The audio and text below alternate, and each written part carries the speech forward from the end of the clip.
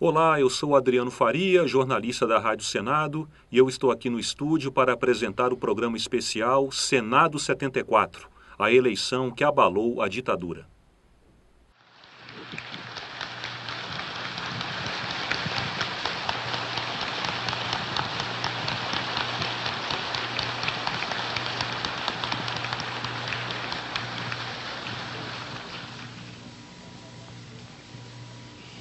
O povo começou a votar nos candidatos da Arena quando elegeu senadores, deputados federais e deputados estaduais, otorgando-lhes os poderes de representação e há meses, chamado às urnas para optar entre os partidos, voltou a consagrar a Arena em mais de quatro quintos dos municípios brasileiros. Nas eleições municipais do ano passado, elegemos cerca de 90% dos prefeitos e 85% dos vereadores. Somos 59 senadores, 223 deputados federais, 493 deputados estaduais. Nas eleições de 1970 e 72, a vitória do partido que sustentava o regime militar foi tão avassaladora, a vitória da Arena, é, que alguns parlamentares, alguns políticos da oposição consentida que estava no Movimento Democrático Brasileiro, o MDB, é, chegaram a defender a tese da autodissolução do partido. Em 73 aconteceram dois fatos que alteraram essa conjuntura. O primeiro deles foi mais uma guerra entre Israel e os árabes. E mais uma vez os árabes foram derrotados. E mais uma vez Israel foi vitorioso. Com uma diferença. Pela primeira vez terminado o conflito, os árabes resolveram fazer da sua mais importante riqueza, que era o petróleo, uma arma política. E da noite para o dia, o preço do barril do petróleo quadruplicou. O que, que isso tem a ver com o Brasil? Muito. Foi o princípio do fim do milagre econômico do regime militar. Agora, com a primeira crise do petróleo, os juros sobem eh, de forma incomum e isso arrebenta com os alicerces do plano econômico. Uh, a classe média, que com o milagre econômico tinha emergido no Brasil, ela descobre, por exemplo, o mercado de capitais, ela, ela descobre o fascínio do jogo na Bolsa de Valores, está profundamente magoada com o colapso do milagre econômico. Então a mensagem oposicionista vai cair como música nos ouvidos. Em 15 de novembro de 74, o país foi às urnas para eleger toda a composição da Câmara Federal, 364 deputados e 22 senadores, um por estado. Naquela época, os brasileiros não podiam eleger o presidente da República e os governadores pelo voto direto. Por isso, a eleição para o Senado ganharia um significado especial. A ditadura militar brasileira tem uma característica interessantíssima. Ela sempre é, se preocupou muito com a sua imagem. Então, determinados aspectos formais ela fez questão de manter, inclusive para o mundo exterior. Por exemplo, as eleições não foram suspensas, as mais importantes passaram a ser indiretas, mas as eleições continuaram, o alistamento eleitoral continuou sendo obrigatório, o voto continuou sendo obrigatório. Vai falar o presidente Ernesto Geisel. Congratulo-me, portanto, com o povo que maciçamente acorreu às urnas, demonstrando sua fé nos valores democráticos, mediante um comparecimento da ordem de 80% justamente quando falece crença semelhante das maiores e melhores estruturadas democracias do mundo. O regime militar, talvez muito autossuficiente, pelas duas vitórias anteriores, vitórias arrasadoras que ele obteve em 70 e 72, alterou a legislação eleitoral, de tal forma que ele abre a campanha política no rádio e na televisão. E com detalhe, ao contrário do que nós temos hoje, os programas não eram gravados, eles eram apresentados ao vivo. Então, pela primeira vez no regime militar, nós passamos a ter, no rádio e na televisão, debate entre os candidatos. E à medida que a apuração avançava, emergiam das urnas aos borbotões os votos para os candidatos ao Senado pelo partido de oposição. Resultado: das 22 vagas em jogo, uma por estado, o partido governista Arena, Aliança Renovadora Nacional, ficou com apenas seis. As outras 16 foram conquistadas pelos candidatos do MDB.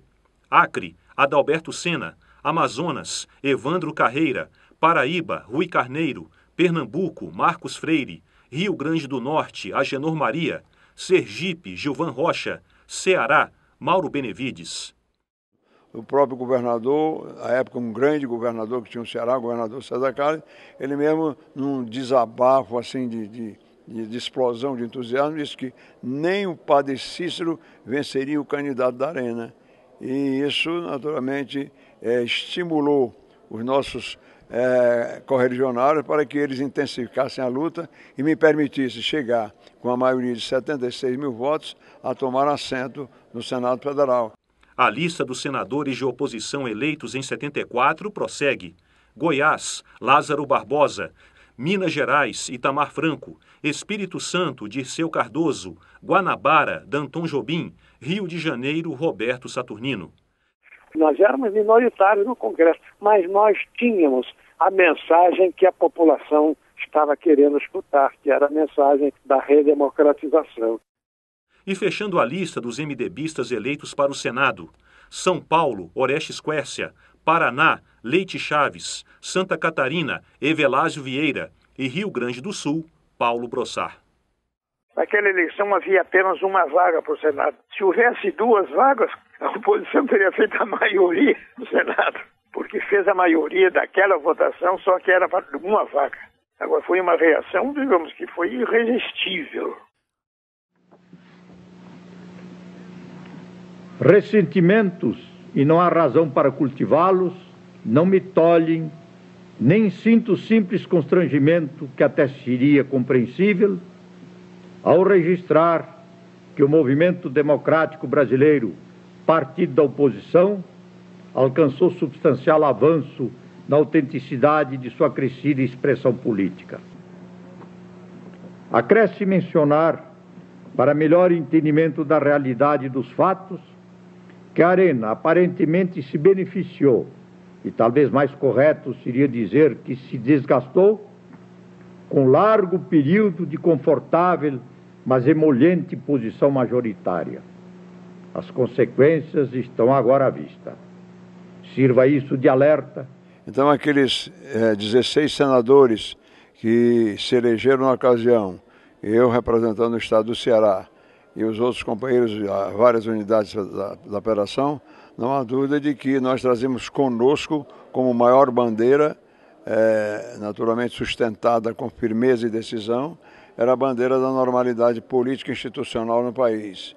Acabaram sendo 17, porque o 17º senador oposicionista foi eleito pela Arena, mas já tomou posse, lutando contra as prisões arbitrárias, lutando a favor da anistia, que era Teotônio Vilela das Alagoas, então eleito pela Arena, ele tomou posse como oposicionista.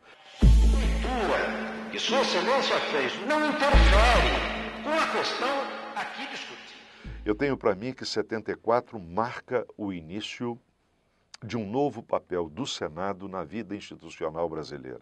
A partir de 74, as mais importantes, ou algumas das mais importantes vozes oposicionistas do Brasil vieram pra, para o Senado. O debate político se incendeia no plenário do Senado. Eu lembro de embates entre parlamentares como Jarbas Passarinho e Paulo Brossard. Era alguma coisa que engrandecia o próprio debate político brasileiro.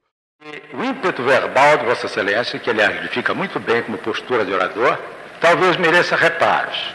Nobre senador Jarbas Passarinho, agradeço a sua intervenção, mas a leitura que Sua Excelência fez não toca, não roça, não interfere com a questão aqui discutida.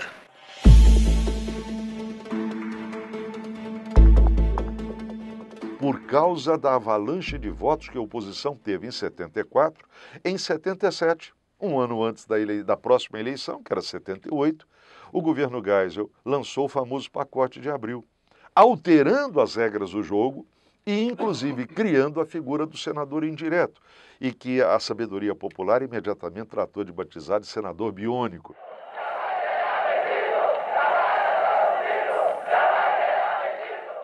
Se você me pedisse uma síntese, eu lhe diria: as eleições de 74 marcam a inflexão do regime militar.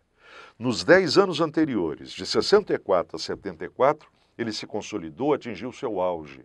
Nos dez anos posteriores, a partir de 74, ele vai irremediavelmente vivendo o seu plano inclinado, quer dizer, ele vai caindo.